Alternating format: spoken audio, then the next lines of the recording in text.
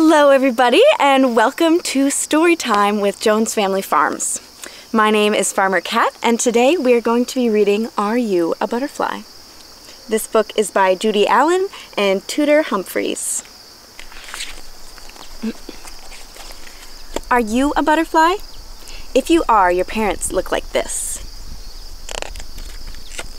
You start your life in an egg like this. As soon as you are strong enough, break out of it. You do not look like your mother or father. You are a caterpillar. You have 16 legs, a hairy back with tiny breathing holes in it, and very small eyes. You have no nose, but you do have a mouth. So eat. Eat whatever you are standing on. Your mother laid your egg on a delicious leaf. Grip the leaf with your legs to hold it steady. Then eat it. Next, eat the next leaf. Eat every leaf you can reach. Then move to another bunch of leaves and eat them too. You grow bigger and bigger. Eat more. You feel full. You feel so full, you think you are going to burst. You're right, you are going to burst.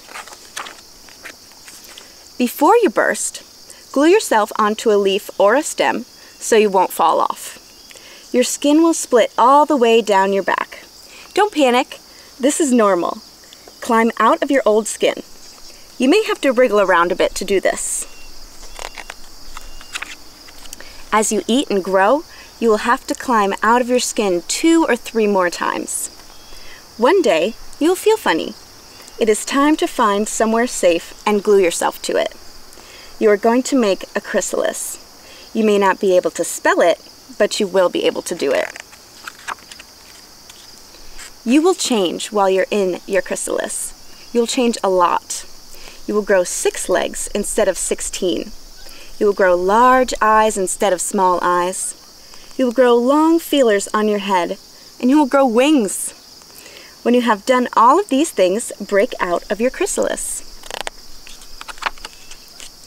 Your wings are crumpled. They look terrible. Don't worry. Hang upside down from your chrysalis. Slowly, slowly, your wings will stretch. The creases will all go away. Use the long feelers on your head to smell flowers. Use your long tongue to drink nectar from the hearts of the flowers. Use your wings to fly. However, if you look a little like this, or this, or this, you are not a butterfly. You are not even a caterpillar. You are a human child. You have no wings. You can't fly. It's most unlikely that you have long feelers growing out of the top of your head. But you can do a lot of things that butterflies can't do.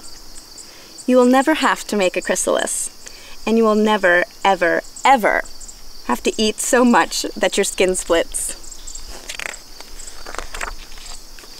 Did you know?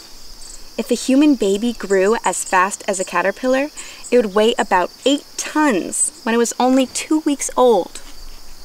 There are about 15,000 different kinds of butterflies in the world. The Queen Alexandra butterfly of Papua New Guinea is the largest in the world. When its wings are spread out, it measures 11 inches across. Butterfly wings are covered with thousands of tiny, brightly colored scales. Never touch a butterfly's wings. They're easily damaged, and if the butterfly can't fly anymore, it will die. And that's that.